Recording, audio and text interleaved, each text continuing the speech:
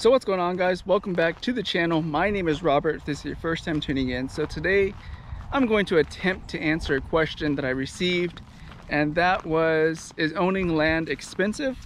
Now the question wasn't really specified um, so I'm going to kind of answer it to my best of my knowledge and to the best of my, um, I guess, guessing to where they were leading to that question. Um, so yeah, I'm gonna go ahead and answer it. Again, if you like this types of content, don't forget to subscribe. Don't forget to like, share on this video. Again, my name is Robert. Let's go ahead and get into it. So is land, is owning land expensive? Well, it depends. What are you doing with the property? You know, are you living on the property? Are you hunting the property? Um, what are you doing with it? So I didn't really get any specifications on the question. So I'm gonna kind of just do my best and kind of answer it. So is it expensive? Generally speaking, not necessarily as, as, as expensive as people might think it is. And that's because there are a lot of exemptions when it comes to like taxes and tax breaks for owning land. There's different types of wildlife exemptions. There are types of homestead exemptions if you're living on the property. There are things available to you um, to reduce the cost, at least from the tax side of things, um, for owning land. Now, um, I guess where it can get expensive is the cost to purchase the land initially. Yeah, it's expensive because um, specifically raw land at least, raw land is going to require a larger down payment than a traditional city lot with a house on there. If you're buying raw land, yeah, it's going to cost you more than you would for buying a house in the city for an upfront cost. Um, and the reason is because banks will require, if you're going to be taking a loan out, of course, if you're to be spider web, if you're going to be taking a loan out on the property, the bank is going to want to see anywhere between 20 to 35 percent down on this. And again, the reason the bank is going to want to see more money down on raw land is because they are taking a larger gamble, a larger risk by lending you the money on something that has no uh, no home on the property. Um, it's easier to default on something if it's not your primary residence, if you're not living on the property. Um, people will more than likely default on a piece of property, piece of land that they have versus a house that's that houses their family, their kids, and themselves. Um, if the people have, if someone has two properties, one has a house, the other one does not have the house, you know, which one are you gonna um, lose in the event you had to let one go? So that's how the bank sees it. So that's why the bank does ask for larger down payments when people go out and try to buy land. It reduces their risk and you have more skin in the game so the bank feels more comfortable um, because they have more equity in the event they have to foreclose on your on your land. They have more equity and there's a higher chance that they can get their money back from you or money back from the investment. Um, the next thing just you know everyday cost on land. It's land. It doesn't really require a whole lot. But again what are you going to do with the land? Or do you have cattle on the property? Do you have horses goats?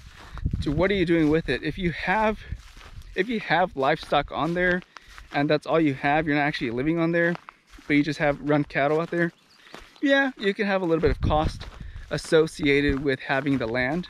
You're gonna have hay water. If you don't have water available you're gonna have to bring water out there um, fence maintenance, things like that. So yeah, it can get expensive if you um, if you do have livestock up there, out there. Now, you know, take it to the other side of this. If you just have the land and it's just sitting there and you just bought it as an investment to potentially sell it down the road or you just go out there and barbecue on the weekends, whatever, you know, yeah, your, your costs aren't going to be that high um, other than your taxes, maybe some insurance. That's probably about it. You don't really have necessarily a fence maintenance um, because you're not really running any cattle. usually the other owner typically is going to be the one taking care of the, of the fence line because he doesn't want his cattle getting out onto the road. So yeah, I mean, there's not a whole lot of cost associated there. Now we'll go to the other side of this, and that's you having land and a house and living there. Yeah, that can get expensive because now you're living there. Now, you know, maybe you don't want the cattle from your neighbor's property going over there. So maybe you take care of the fence line um, because the, the cows keep knocking down the fence line. So yeah, there's gonna be some cost. Maybe, um, maybe you have some road maintenance cost because now you live there, you have, you have to access that property. Um, yeah, you're gonna have some maintenance costs there. So it kind of just depends, honestly, like what are you, what are you doing with the property? It can get expensive if you, um, like I said, if you're living on the property, yeah, it can get, it can get expensive, but everyday maintenance just on the land itself it's not really a whole lot. But again, like I said, whatever you're gonna do with the property is gonna vary. So I hope I'm kind of answering that question. Um, again, it was kind of a broad question. Um, you know, is land is it is only owning land expensive? Like I said, most of your most of your cost is going to come from the upfront cost. Um, but other than that, not really. At least in my experience, I guess you could say it hasn't been too crazy expensive. It's only been expensive because I want to make it expensive or plan on doing something. Um, like throwing a road, yeah, or a trail. Yeah, if you want to do that and you have the land, it's going to be expensive. But um, if I didn't want to do this, I could cut the cost there. If I didn't want to do an actual road um, with the base material, you know, that's thousands of dollars there. Didn't have to be made could it but obviously makes the property look nicer makes it more accessible so yeah it gets a little expensive if you look at it that way but again you can have a dirt road and if you don't mind um, having ruts in the soil ruts in the ground it doesn't have to be expensive. You can just you know uh, hang out there and run through it and not worry about all those dips and bumps. But again it's just is it, it, i guess the best way to put it is it gets as as expensive as you make it. That's the best way i can put it.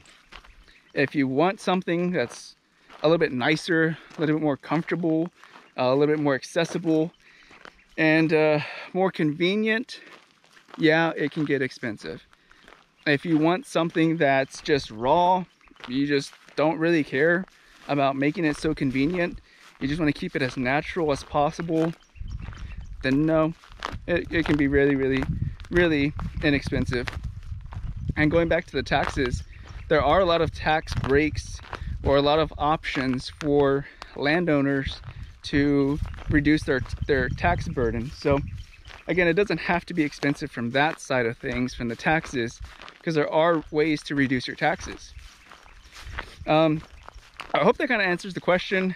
Um, again, if I had been given like a little bit more direction, I could dive a little bit more into it. But um, yeah, I mean, I hope it answers the question best as possible.